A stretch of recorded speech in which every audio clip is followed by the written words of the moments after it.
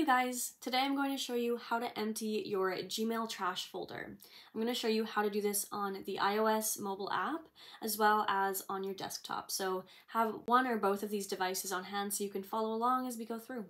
Let's jump right in. Emptying your trash is super simple and this can also clear up a ton of storage space. I know it's like my number one thing to do when I'm running out of storage space is I go in and just empty my trash in my Gmail. So to do this, you're going to launch your Gmail, and then in the top left corner, we're going to hit the three lines, and then scroll down at the very bottom, we find the trash um, inbox. So we'll click on this, and here is where I'm going to find everything in my trash folder. So anything I've deleted recently is going to be here. At the very top, we have a couple options. We have the empty trash now. And if we select this, this is going to delete everything automatically. So be cautious when using this option. As long as you're okay with all of your emails in your trash being deleted, then go for it. But uh, just know that once your trash is empty, you cannot find those emails again. They're gone forever. So just be cautious. Another thing to pay attention to is um, above this, there's a message telling you that anything that's been in your trash inbox for more than 30 days is going to be automatically deleted. So be proactive in checking your trash bin in case there's important emails that you've accidentally deleted. After those 30 days are up, you can no longer access those emails. But this is also really helpful because our trash bin takes up a lot of storage. And so to have it everything be deleted after 30 days is going to clear up your space. If, for example, you needed that space cleared up right away, then you can come in and empty trash now. If you wanted to delete things individually, you'll just click on the email. Click on the three dots in the top right corner. And at the very top, you'll find the delete forever option. When you click this, it's gone forever. You cannot access it again. Hey, if you're finding this video helpful, you can also support the channel through super stickers. This helps fund the channel and it also helps us continue creating videos for you guys. Thanks, and let's get back to the video. Okay, now let's jump over to the desktop and I'm gonna show you guys how to do the same thing. Okay, so now that we're on the desktop, you're going to wanna have your Gmail launched. And then in order to get to the trash folder once again, we're gonna go to the left-hand side of the screen.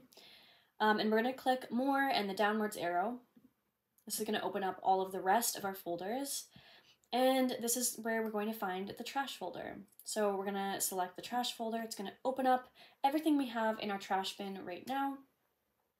And we're going to essentially follow the same steps as before.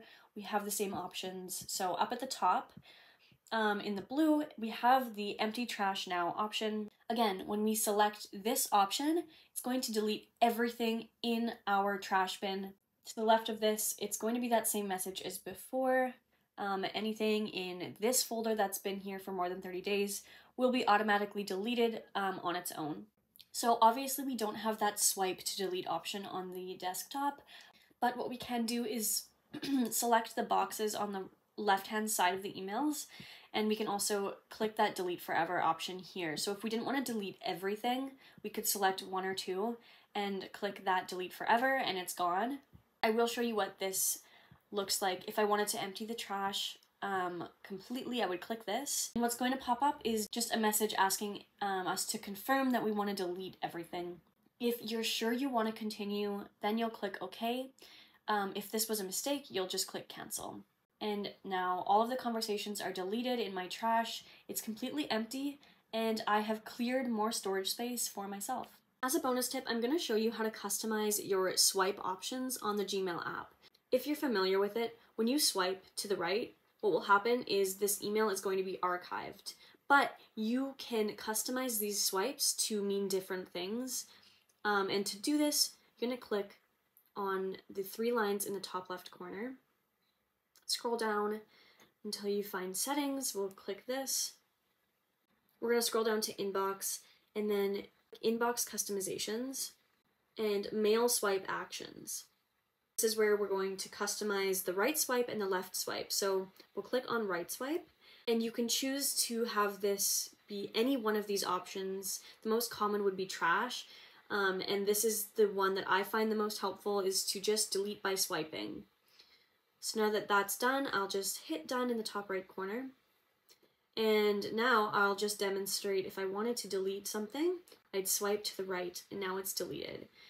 I still have that swipe to the left option being archiving my emails, but I could also go in and change that too if I wanted.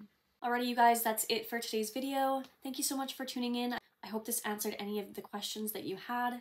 Thanks again, and as always, I will see you guys in the next video.